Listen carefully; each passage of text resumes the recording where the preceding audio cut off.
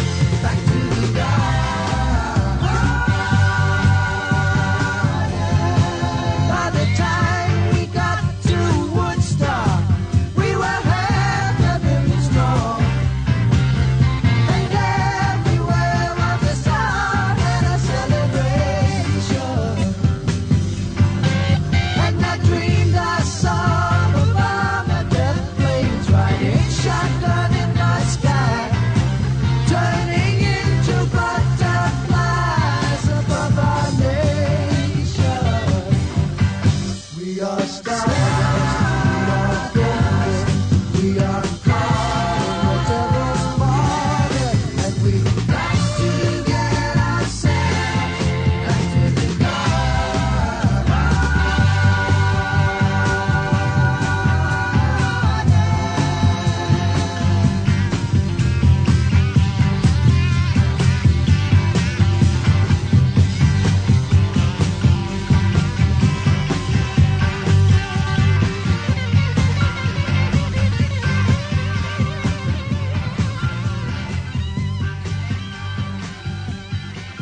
Crosby, Stills, Nash and Young doing Woodstock, a song that was written by Joni Mitchell as she sat in the audience at the Woodstock Music and Art Fair back in 1969. If you can imagine this, there were 400,000 of America's hippest gathered at a farm near Bethel, New York to catch some of the greatest acts around. It was the biggest thing that they had had so far to that date. They saw Hendrix, the Airplane, the Dead. Uh, they saw the dead. Canned Heat, Crosby, Stills, Nash and Young, of course, Joe Cocker, Santana, the band. The Who was there. They made an absolutely classic, may I say, performance because uh, as they were performing, the yippie, if you remember that word, the yippie Abbie Hoffman uh, rushed the stage to get in front of the microphone and display some propaganda. Pete Townshend, who was not in a good mood that day, grabbed him by the collar punched him out, threw him off the stage. There was a lot of fireworks, there was a lot of excitement that day, and it has been said the solidarity of youth began in the summer of 1969.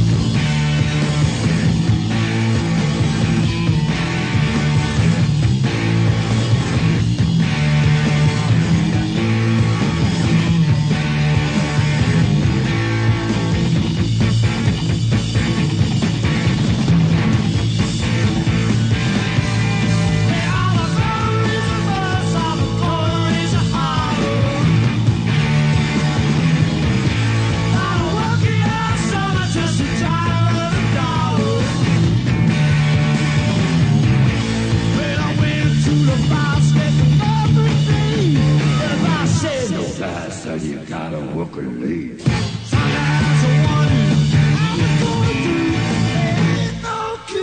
The summertime